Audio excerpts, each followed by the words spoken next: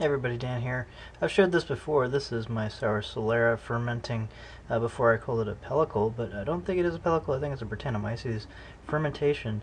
So uh, it's this is the second time I've refilled the solera with wort. Inst um, I always, uh, or so far, have refilled with wort instead of uh, fresh beer, like most people do. Uh, instead, I do uh, fresh wort.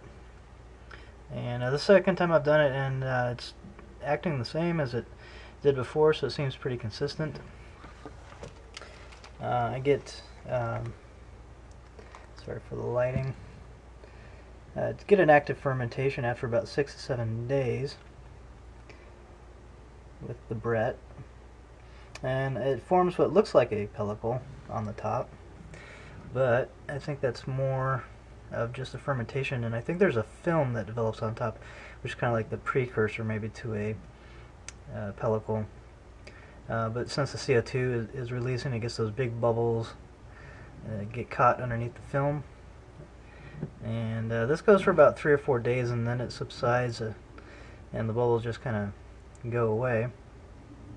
So uh, yeah, this is what a sour solera fermentation looks like for me, for my house. What's become my house culture. Um, that's about it. Cheers, guys.